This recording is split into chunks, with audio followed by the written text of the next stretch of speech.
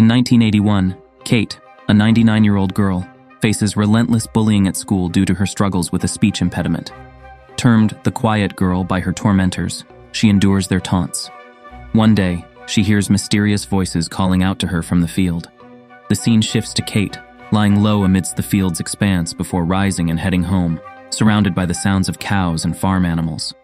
Upon entering the house, she's drawn to a baby's cry, leading her to her room where she gazes at a wetted mattress.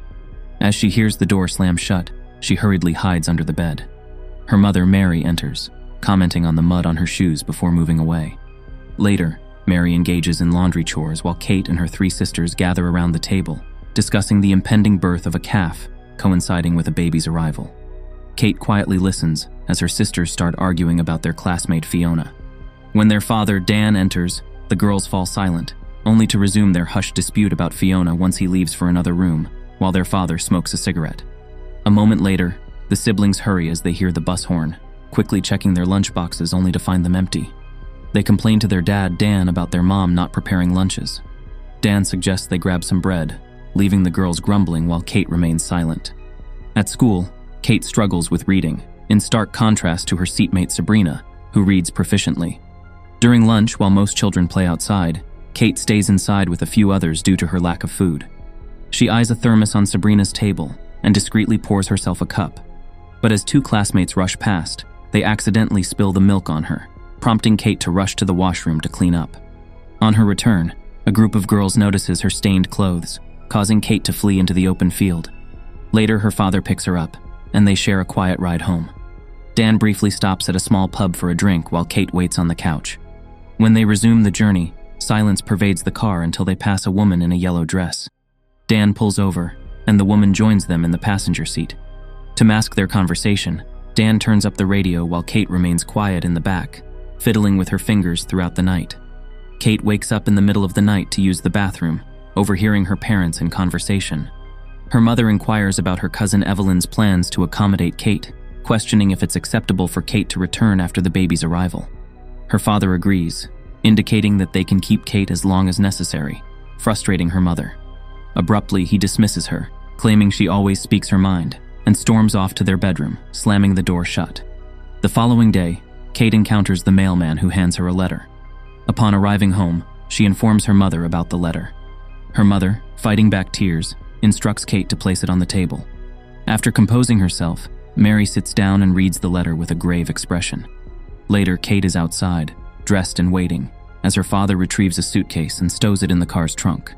Her mother calls out to her siblings, announcing Kate's departure, but her father's impatience prompts him to declare they're leaving immediately. Kate sits quietly in the back seat as her father drives in silence until he tunes the radio. After a moment, he turns to her and mentions, Waterford. Kate inquires if that's their destination, but her father remains silent, focusing solely on driving and the radio. She dozes off and wakes to the warm sunlight. Looking out, she sees lush greenery around but gets no response from her father when she asks where they are. Soon they arrive at a vast mansion belonging to the Cine Locks, her mom's cousin and her husband's family. Her father heads straight for Simon, her mom's cousin's husband. Kate watches from the back seat, surprised when the door on her side opens. It's her mother's older cousin, Evelyn, greeting her warmly. Evelyn asks Kate to stand so she can take a good look at her. They exchange a few words, and Evelyn smiles, adjusting Kate's hair as she leads her inside. They make their way to the kitchen where Evelyn inquires about Kate's mother. Kate mentions her mother winning prize bonds, and they had jelly. When asked if her mother is busy, Kate replies that she's waiting for men to come cut the hay. Evelyn frowns, remarking that they are late in cutting the hay. The young girl suddenly inquires about any other kids in the house. Evelyn smiles and explains that she and Simon are the only residents. Shortly after, two men enter the kitchen. Dan greets Evelyn and settles down while Simon and Evelyn prepare the table. Dan engages in light conversation, but when Evelyn prompts Simon to greet their guests, Simon only mentions that Kate is alone. This prompts Evelyn to remark that Kate is more than just a reference. Dan shifts the topic, discussing this year's hay. Evelyn interjects, inquiring about Mary's progress. Dan mentions Mary's nearing due date, and when Evelyn presses further about any difficulties, Kate's father shares that feeding poses a challenge. He adds that a child's hunger is insatiable. Evelyn responds, saying Kate is growing, and Dan suggests making Kate work for her food. Simon steps in, stating that Kate doesn't need to work.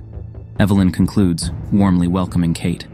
Dan tries to caution them, hinting that his daughter might eat them out of house and home. There's a brief silence until Kate mentions she needs to use the restroom. After they finish eating, Dan announces his departure, citing the long drive back. Simon questions his rush, to which Dan explains. Evelyn stands, stating she'll be back. The table falls silent again until her return, offering Dan a handful of rhubarb for Mary. However, Kate's father takes it indifferently. Outside, Dan carelessly tosses the rhubarb on the car's back seat, immediately starting the engine. Before driving off, Kate's father advises her to behave and avoid the fire. Evelyn notices Kate's suitcase still in the car and rushes inside, preparing a bath for the girl. Initially hesitant due to the water's heat, Kate eventually acquiesces as Evelyn assures her she'll get used to it. After cleaning up, Evelyn asks if it's all right for Kate to wear some of their old clothes temporarily, which Kate accepts. Sorting through the closet, Evelyn chooses a plaid shirt and pants. Kate mentions her mother's instruction to change pants daily, and Evelyn asks if there's anything else Mary said. Kate shares her mother's permission for Evelyn to keep her as long as she wants. Evelyn invites Kate to see the well, to which Kate hesitates, asking if it's a secret. Evelyn assures her that secrets aren't allowed in their house and that secrets breed shame. Holding Kate's face, Evelyn explains that she might not fully grasp it at her age. Hand in hand, they head to the well, where Evelyn instructs Kate to drink from the ladle. Later that night, Evelyn asks Kate if she wants some milk before heading upstairs. Kate recalls her mother's disapproval, and Evelyn respects her mother's wishes. Tucking Kate into bed, Evelyn checks on her well being. Kate assures her she's fine, so Evelyn asks about her mother. Kate mentions her mother's frequent vomiting, which has lessened recently. Concerned, Evelyn questions why the hay hasn't been cut. Kate reveals her mother's financial struggles preventing payment for the labor. Worriedly, Evelyn ponders if wiring money to Mary might offend her, acknowledging her father's potential anger. Sometime later, Kate wakes up in the middle of the night, feeling the need to use the chamber pot under her bed. Hearing footsteps, she quickly pretends to be asleep. She overhears Evelyn commenting on her situation, mentioning that she wouldn't allow her own child to sleep in a stranger's home. The next morning, Kate is already awake, gazing out the window when Evelyn enters to tidy her bed. Noticing that the bed is wet, Evelyn doesn't scold Kate. During breakfast, Evelyn suggests to Simon the idea of taking Kate along to work so she can see the farm. Simon explains that the day's work would be tough, but he hints that maybe Kate could join them next time. Left alone, Evelyn and Kate spend time together, doing household chores. Evelyn teaches Kate how to chop vegetables and clean while caring for her. This routine continues for several days, and as they bond, Kate stops wetting the bed. One day, Kate successfully wakes up dry, and Evelyn looks at her proudly, remarking that she only needs a little guidance after all. One morning during breakfast, a call disrupts their routine, and Evelyn mentions she's needed to assist their friend Sophia. This means Kate will be under Simon's care for the day. Curious about Evelyn's departure, Kate keeps asking questions. Simon explains it's their friend's daughter who needs help. Quickly heading to work at the farm, Simon later realizes Kate is missing. Worried, he searches until he finds her in one of the sheds.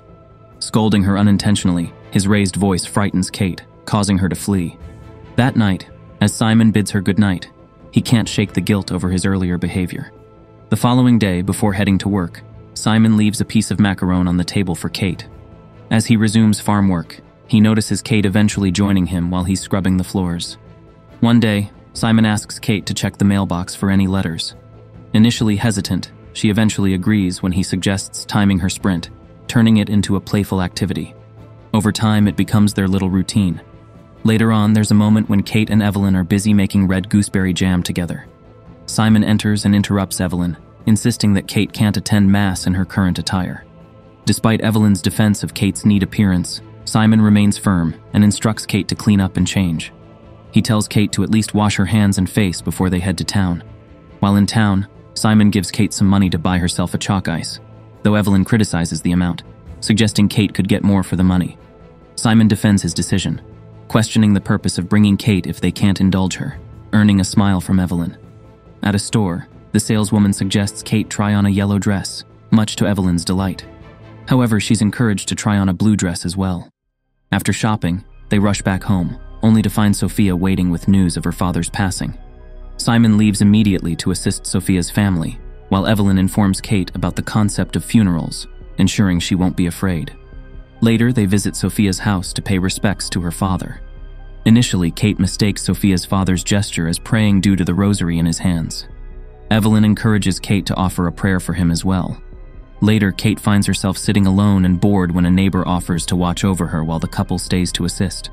However, the woman turns out to be nosy, bombarding Kate with numerous questions. From inquiries about kitchen ingredients to the dog's sleeping spot and their stocked fridge, the woman finally probes into where Kate sleeps. Uncomfortably, she reveals that Kate's room belonged to the couple's late son, who tragically passed away in an accident at the slurry pit. This revelation disturbs Kate. When they arrive at the woman's house, Simon quickly arrives to take Kate back home. Sensing something amiss in Kate's behavior, it takes a while before she confides in them about the woman's disclosure regarding their late son. Upon returning home, Evelyn retreats to their room, while Simon fetches Kate a coat, indicating they're going out.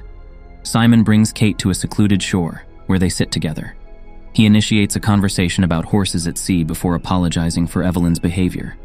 He assures Kate that Evelyn didn't intend any harm, through their conversation, they grow closer, especially Simon, who begins to treat Kate like the daughter he never had.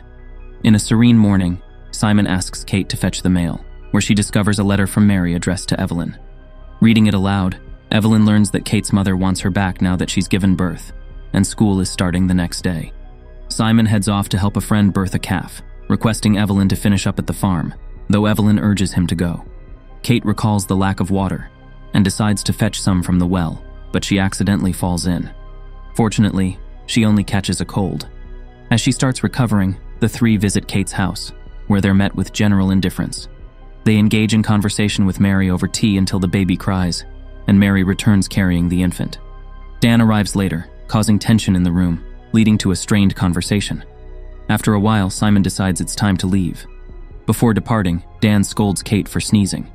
The couple gives provisions to Mary, and Simon hands her a crate of jams. As they drive away, Kate runs after them. Spotting her, Simon hugs her tightly before closing the gate. Evelyn sits in the car, tearful. Seeing her dad marching angrily toward them, Kate softly mutters, Daddy, while hugging Simon tightly. It's the first time she has called someone daddy.